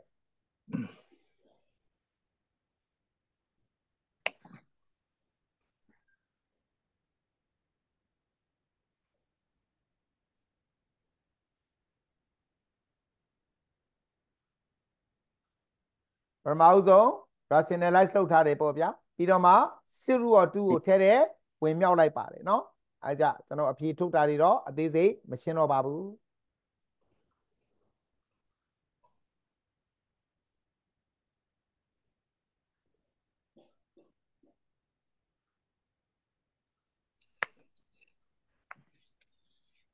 ဆရာကြီးစာမျက်နှာကိုလေးမရိုက်လိုက်ရတော့ပါဆရာ ဟုတ်ကဲ့ဗျာဒါလေးအားလုံးရကြဒါလေးရင်လိုက်ရိုက်လိုက်ပါဦးဗျာเนาะဒါလေးဟုတ်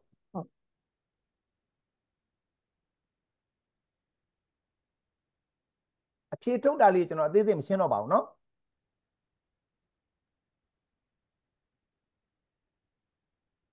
ဒါဆရာမနံပါတ်9ပါဗျဆရာမနံပါတ်9ပါဗျ ဟုတ်ကဲ့ပါဆရာကြီးရပါတယ် ဒါရင်နော်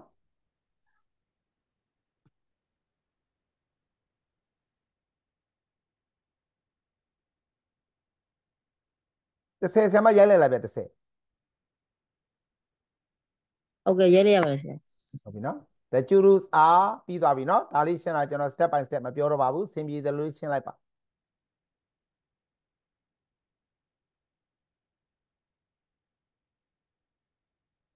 အကြရ rationalize မလုပ်ဘဲနဲ့အဖြေကိုဒီတိုင်းထားရင်အမှတ်ပေးမှလားအကြတော့စာစစ်တက်မှာတွေ့လိမ့်မယ်ဒီမှာပိုင်းဝေကိုလည်း စစ်ရူရော2နဲ့ဝင်မြောက်တယ်ပေါ့ဗျာပိုင်းကြည့်လဲစစ်ရူရော2နဲ့ဝင်မြောက်တယ်ပေါ့ဗျာ real part ဆို imaginary part ရောဒီတိုင်းထားရင်သူတို့အမှတ်ပေးမှလားမပေးဘူးလားပေါ့လေနော်အဲ rationalize လုပ်ပါတခါကျမေ့မေ့သွားမှာဦး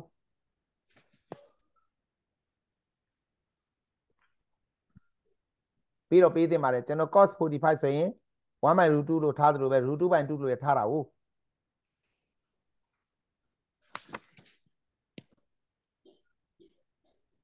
ကဲရပြီလားဗျဟုတ် ရပါတယ်ခင်ဗျ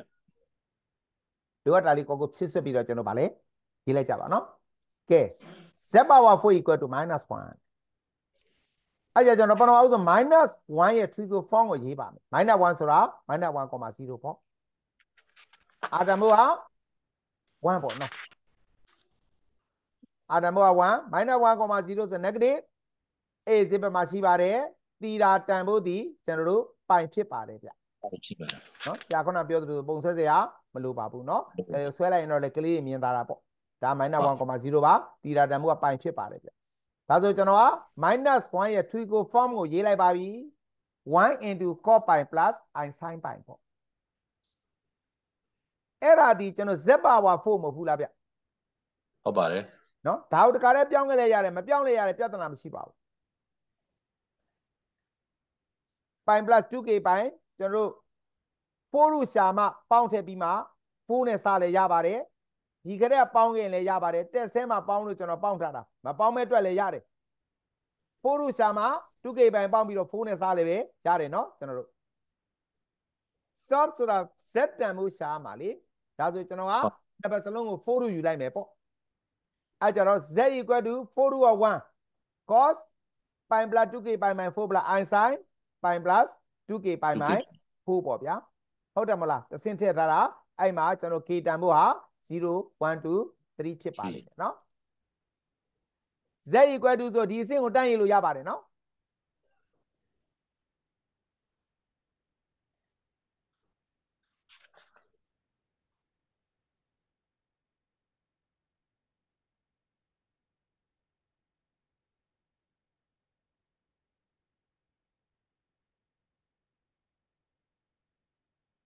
တို့ကျွန်တော်3နဲ့4တော့ကျွန်တော်အကုန်လုံးရောပြီးတော့တွက်လိုက်မယ်နော်ဆရာတို့3 4လေဟုတ်အခွဲဟုတ်တော့ကဲ့ပါနော်3နဲ့4တော့ရောပြီးတော့ကျွန်တော်တွက်လိုက်ပါလက်ပြန်2တခုလေးကြာနဲမှာဗျ3 4ရအောင်ပါသူကမဟုတ်လေမေကွန်းထဲမှာပေါင်းပေးထားတာပဲဟုတ်တယ်ဗျဒါကြောင့်မို့ကျွန်တော်ရောလိုက်ပါမယ်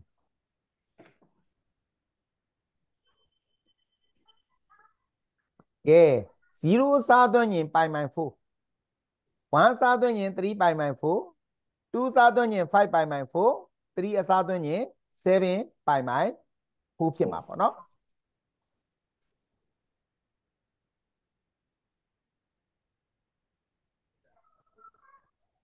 ဆရာ graph တွေတောင်းတာကြဘာပြောလဲဗျ graph graph တွေနော်ဘယ်ဒါအောင်ဆိုလို့ကျွန်ရှိတော်တို့ root ၄ခုရဲ့4 root ၄ခုရဲ့ graph ဆွဲရမှာလေအားကြောင့်အဲ့ဒါကိုသူတို့ကတိကျမပြောဘူးဗျဆရာကြီးအဲ့ဒါကျတော့ဟုတ်တယ်နော်သူတို့ကဒီအဲ့မေးခွန်းဒါကျတော့ ဒီမေးခွန်းရဆိုကျွန်တော်ကမဆွဲလဲရ तू မှတောင်းမထားတာဘူးကျွန်တော်ကတော့ကလေးတွေပြောလိုက်တယ်ဂရက်မတောင်းရင်တော့မဆွဲနဲ့လို့ပြောဆွဲလိုက်မတယ်နေတာဟုတ်ကဲ့ဗျဟုတ်ကဲ့ဗျဟုတ်ကဲ့ဗျဘာလို့ဒါကနည်းနည်းလွယ်သေးတယ်ချို့ကကြမလွယ်ဘူးဆရာကြီးဟုတ်တယ်ဒါကလွယ်တယ်တချို့ကမလွယ်ဘူးဗျဟုတ်တယ်ဟိုစစ်ရိုတူတွေပိုင်းနဲ့အဲ့လိုမျိုးဆွဲရမယ်ဆိုရင်မချောင်ဘူးလားမျိုးဆိုကဲဟုတ်ပြီဒါဆိုကျွန်တော်တို့ဆက်တွက်တော့မယ်နော်ရပြီလားအဲ့ဒီဟုတ်ပါတယ်ဆရာကဲ W0 အ K တန်ဖို့0စားသွင်းလိုက်တယ်ဗျာ ဘာရမှာလဲ √2/2 plus √2/2 i ရမှာပေါ့ K တန်ဖို့1စားသွင်းလိုက်တယ်ဗျာ cos 3 pi minus 4 plus i sin 3 pi minus 4ဘာပဲရမှာလေဗျ minus √2/2 plus √2/2 i ရမှာပေါ့ဟုတ်တယ်နော် K တန်ဖို့2ဆိုရင်5 by man 4 လွယ်လွယ်လေးပါဒါလေးอ่ะเนาะအဲ့လောက်ပဲမေးတင်ပါလေဗျာ minus တည်ကြရ minus d တွေရမယ် minus root ဒါဆိုရင် k တန်ဖို့3က7 by man 4ပလ minus ရမှာပေါ့เนาะဆရာတို့ ဟုတ်ကဲ့ပါ minus root minus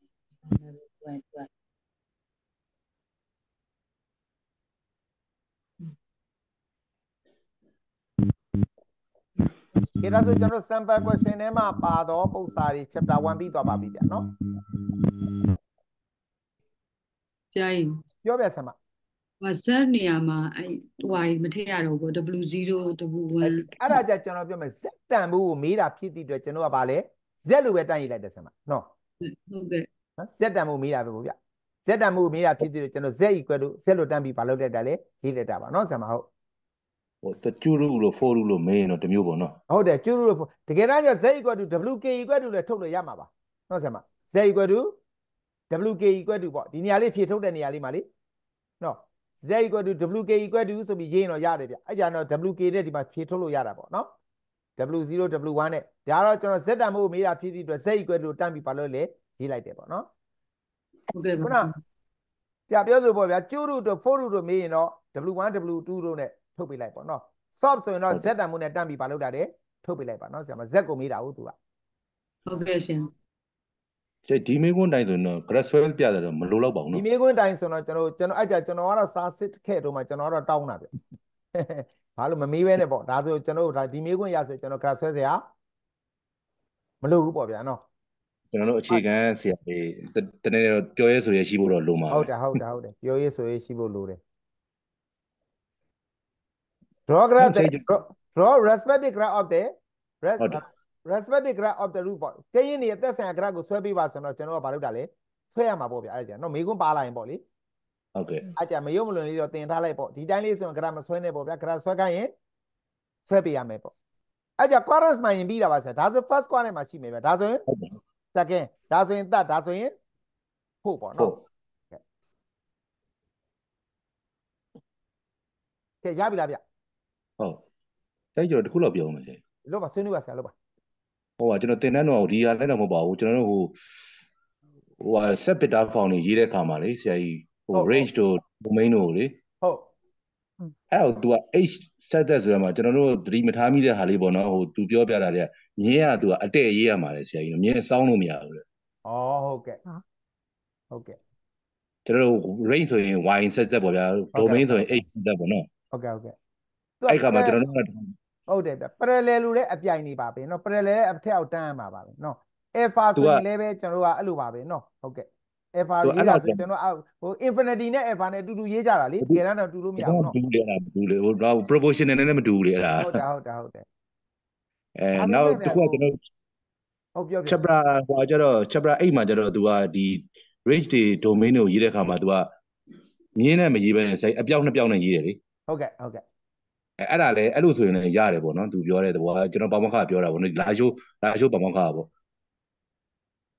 အမှန်ကကျွန်တော်ပြောမယ်သူတို့ကျွန်တော်တို့သိခဲ့တဲ့ range ကျွန်တော် dictionary ထဲမှာပါတဲ့ range ဒါအဲ့ဒါသူတို့ကဟိုသူတို့ကျွန်တော်ပြောတယ်ကျွန်တော်တို့ကပြန်ပြောစရာလဲဟိုတို့အဲ့လောက်ကြီးလဲကျွန်တော်မသိပါဘူးဟို dictionary ထဲမှာပါတဲ့ range domain က set ဗျ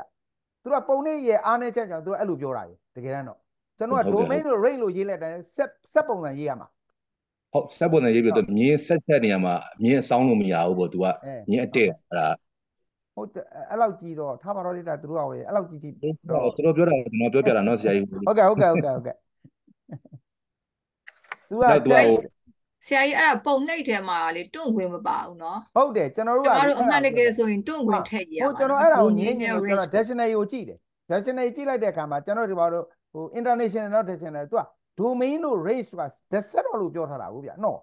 ဟုတ်တယ်ဟုတ်တယ်အဲ့ကြသူအဲ့ကြဆက်မပါဘူးလေအဲ့ကြသူတို့အားနေကြကြဒီလိုရေးလို့ရတယ်ဖြစ်သွားပြန်ရောပေါ့နော်အဲ့ကြတော့နောက်ခက်တော့ခက်ပါတယ်လေဟို real real number ဆိုရင်လည်းဆရာကြီး R ကိုရိုးရိုး R လိုပဲရေးရင်မရဘူးတဲ့နော်ဆရာ R ကိုအဲ့အဲ့လောက်ကြီးကြီးရောအဲ့လောက်ကြီးကြီးကတော့မဖြစ်သင့်ဘူးလေနော်မဖြစ်တယ်အဲ့ဒါကိုကျွန်တော်လည်းမဆရာကြီးပြောလို့မငင်းတော့ပါဘူးတင်ချာကဒါတွေကအတင် စင်မောဆိုတာတတ်မှတ်ချက်တွေပါဗျဆက်အတွေးကိုပဲကျွန်တော်ကသိစေချင်တာလေနော်ဒါလေရေးလက်သားကျွန်တော်လေရေးလာတော့မပြန်အာဆိုတော်ပြီပေါ့ဗျာဟိုတစ်သက်လုံးကအာပဲရေးလာခဲ့တာဟုတ်အခုကြာမှဒီလိုလုပ်လို့တော့ဘယ်ရပါမလဲဟုတ်ဘူးလားဟိုကျွန်တော်ကျွန်တော်ကဖြစ်စေချင်တာဒီလိုပေါ့ဆရာကြီးကျွန်တော်တို့ဟိုဆရာအစင်းမြင့်မှာဆိုရင်တော့ဟိုတင်ဆရာတို့တင်ချာအသုံးလုံးမှာဟုတ်ဟုတ်အာနည်းနည်းပြောင်းသွားရင်တင်ငင်တတယ်ရှိကျွန်တော်တို့အခြေခံမှာဒီ real number ဆိုရင်ဒါပဲရှိရမှာပဲအာဒီရောစရာအကြောင်းမရှိဘူးလေပြောချင်တာအာအာပဲရေးရမှာပါဟုတ်ဟုတ်တယ်အဲ့ဒါကို तू အာအောင်အဲ့လိုနှစ်ထပ်မရင် မရဘူးလေပါတယ်အဲ့အဲ့လာရှုကဘမခအဲ့လိုတော့ပြောတယ်ဆရာကြီးဘယ်ဘယ်ရေးနိုင်မလဲအဲ့ကြတော့မယူဘူးပေါ့ဗျာမလွယ်ကျွန်ဘူးတော်လေအဲ့ဒါကျွန်တော်ကဒါကြောင့်ဟိုဟိုတက္ကသိုလ်စစ်တုံးမှဆိုရင်ကျွန်တော်တို့ကျွန်တော်ကအမှတ်တောင်းသမားအမှတ်တောင်းသမားဆိုတော့အဲရွှေဘူတက္ကသိုလ်ကပါမောက်ကိုပေါ့ကလတော့တွဲဘက်ပါမောက်ခနဲ့ကျွန်တော်နဲ့ဆိုအမြဲတမ်းတိုက်ခံဖြစ်တယ်ဆရာကတဲ့တင်ချာမေချာဟုတ်ရလားတဲ့ကျွန်တော် MSc ပြီးထားကျွန်တော်မဟုတ်ရတမိုင်းနေလာစစ်တာလို့ပြောလိုက်တာနော်ဘာဖြစ်လို့ဆိုတော့သူတို့ကလေအတင်းကြီးရစ်တာပေါ့နော်ဟိုသူတို့ကအထက်ကဆိုပြီးရစ်တာလေ နော်အဲ့ကြကျွန်တော်တို့ကတောင်းတာတော့ကလေးတွေနစ်နာမဲ့ဟာမျိုးကတော့ကျွန်တော်တို့ကအဲကျွန်တော်ကတောင်းရမှာပဲမအာကိုရေးတာမျိုးအပတ်လျှော့ဆိုကျွန်တော်အဲ့ဒါမျိုးတော့လက်မခံဘူးအဲ့တော့ဟိုတင်ချာရဲ့ဟိုဟုတ်တယ်ပြောပြလက်မခံဘူးတင်ချာရဲ့ဝိသေသပျောက်သွားမှာလေဟုတ်စင်ပယ်ပဲကြည်နေလို့ဖြစ်သွားမှာပေါ့အဲ့လိုမျိုးဟုတ်တယ်အဲအေးပေါ်လေဒီကျွန်တော်တို့တစ်သက်လုံးကအာလို့ရေးခဲ့တာဟုတ်ဗျာနော်ဟုတ်တယ်အဲ့ဒါကိုတင်ချာရဲ့အနှစ်သာရသူတို့လုပ်ပုံနဲ့တင်ချာရဲ့အနှစ်သာရပျောက်သလိုဖြစ်တော့မယ်လေရေးလေရေးအဓိကဖြစ်နေဟမ်ကဲ အကြပေးတောင်းကြပေါ့ဗျာဆရာတို့ကြီးကျွန်တော်ကတော့အပြင်ရောက်တော့တောင်းလို့မရဘူးစာစာစစ်တဲ့လူတွေကိုကိုယ့်ရဲ့နော်မိတ်ဆွေပေါင်းတင်းတွေပြောရဲဆိုရဲရှိဖို့ပဲလိုတယ်လို့ပဲအကြံပြုချင်တယ်ဒါပဲကျွန်တော်မေးဟိုဖြစ်သွားပြီဗျဘယ်ပု္ပ္ပစာလဲမေ့သွားကျွန်တော်ပုံနေကြီးခါချထုတ်ပြီးရောအိုက်စာစကန်နဲ့ဝင်တာဝင်ပြီးတော့သူအိုက်ဆရာမနဲ့ကျွန်တော်ညင်းတာရှင်းတယ်ပုံနေကိုဘယ်လိုယူလာလဲတဲ့ကျွန်တော်ခါချထုတ်ပြီးယူလာတာလို့ဒီဟာကိုဒီပုံနေထဲမှာဒီလိုပြောထားလို့ကျွန်တော်ကအမှန်တောင်းတာဆိုပြီးတော့အဲ့မှာနောက်ဆုံးကျွန်တော်ရတယ်ဗျ ကျွန်တော်ပု္ပ္ပစာမှတ်မှတ်ထားအောင်အဲ့ဒါလေးမေ့သွားအဲ့ပု္ပ္ပစာလေး ဟုတ်တယ်မ ကဲဟုတ်ကဲ့ ပြောရင်မဟုတ်ဘူးဟုတ်ကဲ့ပါကျေးဇူးတင်ပါတယ် ကျွန်တော်ပြီးပါပြီเนาะဆရာတို့ဟုတ်ကဲ့ ဟုတ်ဆရာကြီး ရောက်ဆရာမပြောပါဗျ ဟိုအဲ့ပြီးတော့လေအဲ့အောင်ကျဲမြန်မာရေးမှာလေအဲ့ u ကို differentiate လုပ်ရင်လေ ဟုတ် အဲ့ du by dh လို့ရေးပြီးမှ dh ကိုဟိုဘက်ကိုရွှေ့ရင်မှားတယ်တဲ့ ဟုတ်တယ်အဲ့ဒါကတော့ဟုတ်တယ်ဗျသူက DO တန့်ရရမှာဗျ ဟုတ်တယ်အဲ့ဒါတော့ဟုတ်တယ် DO DO တန့်ရမှာဆိုပေမဲ့ဒေါက်တာချိုဝင်းလာဂျာနယ်နဲ့လာမသိ DUND လို့တွက်ထားတာပဲဆရာမဟောအဲ့ဒါကိုပြန်ပြောပြတော့လေအကုန်လုံးကဒီလိုပဲသင်နေတာတဲ့ဟုတ်တယ်ဆိုလက်မခံကြဘူးဟုတ်ကျွန်တော်တို့က DU by DH အမဆိုကြပါဗျာအဲ DU by DH equal to 2 DU equal to 2h ဆိုအဲ့လိုပဲရေးကြတာမဟုတ်လားဆရာမနော်ဒါပေမဲ့အဲ့ဒါတော့ဟို DU by တကယ်တမ်းက DU equal to 2dh ဆိုတာလေ DU by DH equal to 2ကနေလာတာပဲလေမဟုတ်လားဆရာမဟုတ်ကဲ့အဲအဲ့ဒါကြီးကိုတချို့ကလက်မခံဘူးဗျသူကလည်းလက်မကျွန်တော်တို့တက္ကသိုလ်ကမှလည်းအဲ့ဒါကိုလက်မခံဘူးဗျအဲ့ဒါကိုကျွန်တော်မှတ်မိတယ်အဲ့ဒါကိုသူလက်မခံဘူးအဲ့ဒါမှကျွန်တော်အဲ့ဒါဟိုးတော့မှလည်းလက်မခံခဲ့ဘူးပေါ့လေတခါလေးရေးရမယ်ပေါ့သူကတန့်ပြီးမှ u equal to u equal to a square ဆိုရင် du equal to 2h dh လို့တန့်ရေးရမယ်လို့သူပြောထားတာပေါ့နော်ဆရာမဟုတ် ဟုတ်အဲ့ဒါကိုပြန်ပြီးလက်ဆင့်ကမ်းပြောပြတာကိုသူတို့ကဟုတ်ဟိုလက်မခံကြဘူးဒီလိုပဲသင်ထားတာပဲတဲ့ဆိုပြီးတော့လေအဲ့လိုသူကိုကယ်ဘယ်တော်လိုပြန်သူကဘယ်လိုရေးစေချင်တာသူတို့ကဒီ u ကိုရှိတ်တာပဲတဲ့ u ကိုရှိတ်လို့ d by dh လေတဲ့အဲအဲပြီးတော့မှ dh ကဟိုဘက်ပို့တာပဲလေတဲ့အဲ့လိုမျိုးသူတို့ကအမဟုတ်ဘူးလို့တေချာပြောရတယ်လို့အဲ u ပြီးရင် du တန်းရရတယ်လို့ပြောတယ်လို့အဲ့လိုလက်ဆင့်ကမ်းတာကိုသူတို့ကအဲ့လိုတိတ်လက်မခံကြအောင်အကုန်လုံးကတဲ့ဒီလိုပဲ30နဲ့သင်နေရပဲတဲ့ du by dh equal to 2h ဆိုပြီးတော့ du equal to 2h dh လို့တော့ကျွန်တော်တို့တင်လို့မှတော့မရေးခဲ့ရဘူးဗျ du တန့်ရေးရတာဆရာမကျွန်တော်တို့မှလေဟုတ်တယ်အခုကဟုတ်တယ် du တန့်ရေးစေချင်တာမို့လားဟုတ်အဲ့ဒီပြောသွားတော့ကအဲ့လိုတန်းရေးရတာအဲ့ဒါကိုဟုတ်ကဲ့ပြန်ပြီးတော့လက်ဆင့်ကမ်းပြောတော့အကုန်လုံးကလက်မခံကြဘူးအဲကျွန်တော် du ကိုတော့တန့်ရေးတာကျွန်တော်ကကျွန်တော်တို့တက္ကသိုလ်တို့မှလည်း du by dh equal to 2 du equal to 2dh လို့မရေးရဘူးပေါ့ဗျာ du equal to 2dh လို့ရေးရမယ်ပေါ့ ဒါကတော့တကယ်တမ်းတော့အဲ့ဒီကလာတာပဲဗျာသူတို့ကျွန်တော်လည်းမပြောတတ်တော့ဘူးကြာတော့ဒါပေမဲ့ကျွန်တော်ပြောမယ် international စာအုပ်တွေလည်း du ညီမြချင်းလို့တန့်ရေးတာဗျာဆရာမနော်ဟုတ်ကဲ့ international စိစာတ်အုပ်တွေတန့်ရေးတာဗျာဟုတ် integral form ဆိုရင်တော့အဲ့လိုရေးမှာပဲအဆင်ပြေမယ်နဲ့တွင်တော့ differential form မဟုတ်ဘူးလေနော်ဟုတ်တယ်နောက်ခုအဲ့ဆွေးဒါနွေးတန့်ပြီးရေးတာဗျအဲ့ဒါကတော့ဟုတ်ကဲ့အဲ့ form ကွာပါနဲ့တူပါတယ်နော်ဆရာမတို့လေဒါပေမဲ့ဆရာခက်တာအဲ့ရတဲ့ equation လဲ differential လုပ်လို့ရတာလေ ဟုတ်ပါတယ်အဲ့ဒါလည်းဟုတ်တယ်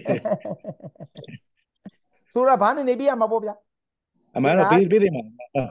ဒါဒါကကျွန်တော်ကဟိုဟာလေးနဲ့မလုံလောက်လို့ဆရာတို့ရေကျွန်တော် multiple choice လေးတွေဖြည့်ထားတယ်ဗျနော် screenshot ရိုက်လိုက်ပါဦးဟုတ်ကဲ့ဟုတ်ကဲ့ဆရာကြီးဟိုစထား group ထဲမှာတင်ပေးအောင်ပါဒါမှမဟုတ် YouTube မှာတင်အောင်ပါဆရာအဲ YouTube ကြာဆရာကြီးဦးသက်လွန်သိမ်းပေးလိမ့်ဒီလိုက်လို့ပါနော်ဟုတ်ကဲ့တင်ပေးမှာပါ group မှာလည်းတင်ပေးမှာဆရာမကြီး အဲ exam ဟုတ် group ကဲ့မှာပါတင်ပေးမယ်ကျွန်တော်ပြီးတော့ဟုတ်ကဲ့ mathematical ကားတွေမှာတင်ပေးမယ်ဗျနော်ဟုတ်ကဲ့ပါဆရာဟုတ်ကဲ့ခုနကမှစမိလိုက်လို့ပါဟုတ်ကဲ့ဒီစာ file လေးတွေကတော့ကျွန်တော်ဟိုမှာ Facebook မှာတင်ပေးပါမယ်နော်ဟုတ်ကဲ့ပါဆရာကြီးကဲဒီမှာ73ကိုစာမျက်နှာရိုက်လိုက်ပါဦးရပြီလားဗျဟုတ်ရိုက်ပြီပါရှင်ရပြီနော်ရပါပြီဆရာကြီး14တလေးဒါကျွန်တော်သုံးမှတ်တန်အတွက်ဒီပါသွားမှာပါပဲဒါလေးတွေကနော် ဟိုသုံးမှတ်တန်နဲ့တော့ဆင်မပြေဘူးလေပြီလားဗျမပြေပါပြီဘူးပါပြီဆရာကြီးရှေ့ကတစ်လေးမမိလိုက်ဘူးဆရာဟောဆက်မာတီပြချိုက်လားဟုတ်ကဲ့ဟုတ်ကဲ့ချိုက်လားဗျာအရပါပြီဆရာကြီးတိုင်းမနေ့က permutation video လေးရော Telegram မှာတင်ထားတယ်ပို့ဆင်မတင်ထားတယ်ဗျတင်ထားတယ်ဟုတ်ဟိုဟာဟိုမရှိဘူးဆိုရင် Telegram တွေကတောင်းလိုက်ကျွန်တော်ပို့ပေးလိုက်မယ်14ရောက်ပြီလားဗျရပါပြီညနေဝင်ရမလဲမသိဘူးရှင် Messenger နေဆင်မလန့်တောင်းလိုက်ကျွန်တော် link တစ်ခုချပေးလိုက်မယ်ဟုတ်ကဲ့ပါဆရာကြီး15ဟုတ်ပါရှင်15ရောက်ပြီလားရပါပြီဆရာကြီးရပြီနော်ဟုတ်ကဲ့16ကျွန်တော်23ပုတ်ဖြည့်ထားပါတယ်နော်ဒါက multiple choice ကိုလေဆရာကြိုက်လားဗျဆရာကြီး15 15လေးပြန်ပြပါဟုတ်ကဲ့ဗျ15ဟုတ်ကဲ့ကြိုက်လားဗျရပါပြီဆရာကြီး16ရပါရပါပြီဆရာငါမရသေးဘူး 15မရသေးဘူးလားဗျပြောဗျဆရာကြီးဒီဥစ္စာအရင်အိတ်ကန်းရရခလားလိုက်တဲ့ချိန်မှာ16ပြောင်းသွားလို့ဆရာ15အဲ့မလိုရရသေး15ပြတာဆရာမ15ပြထားတယ်ဗျဟုတ်ကဲ့ဆရာဒီဟာတွေကအရင်အိတ်ကန်းတိုက်ကရပါပြီဆရာဆရာအိတ်စင်းတိုင်းမှာကျွန်တော်အကုန်တွက်ပြပြီးသားဆရာမဖြေဟောရှိဟုတ်တယ်ကဲ့ဆရာအခု15ပြီလားဗျဟုတ်ပြဆရာပါပြီးဗျပါပြီဆရာ16ကျွန်တော်အိတ်စင်းကိုက်တုံးမှာ20အပုတ်50လေအဲ့ဒီပုံ50တွေကကျွန်တော်တူတာတွေဖြုတ်ပြီးတော့23ပုတ်ပဲခြံထားတာ16ပြီလားဗျ ဟုတ်16ပြီးပါပြီရှင်စက်ကွန်ကကျွန်တော်ကနှစ်မှတ်တန်မှာဟခဏလေးစက်ကွန်ကနံပါတ်ခွန်ကပြုတ်ကြနေဘဲကြနေခဏလေးဗျနော်ကျွန်တော်နံပါတ်ခွန် error တက်နေနေမှာမတန်းလို့ခဏလေးဗျနော်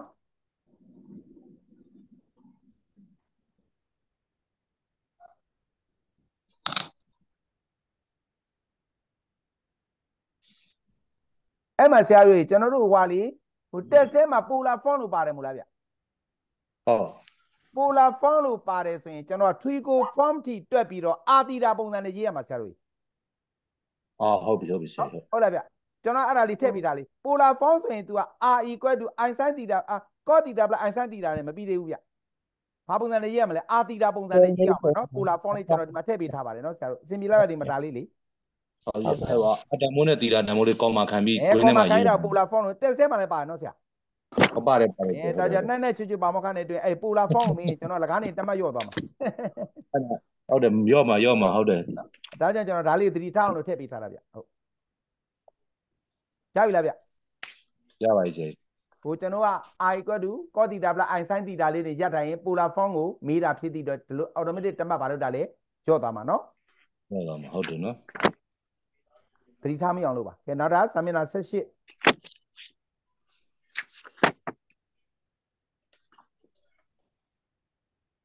ကြိုက်လားဗျာရပါပြီဆရာကြီးတချို့ပု္ပ္ပစာလေးတွေကျွန်တော် Cartesian form ကနေဒါ Trigo form ကို test ထဲမှာပါတာလေကျွန်တော်ဒီထဲမှာညံစမ်းလေးထည့်ထားတယ် Trigo form ကနေဘာပြောင်းတာလဲ Cartesian ပြန်ပြောင်းထားတာလေးတွေနော်ဆရာတို့ရေ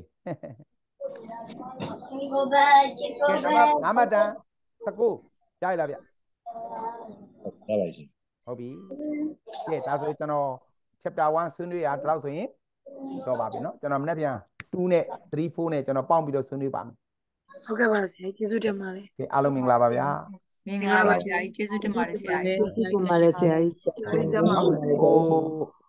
ပေးထားတဲ့ဒီကျွန်တော် supply supplementary တွေကနေပြီးတော့မရရလေးလေဆွေးနွေးလို့ရပါတယ်เนาะကျွန်တော်ပို့ထားလိုက်ပါเนาะဟုတ်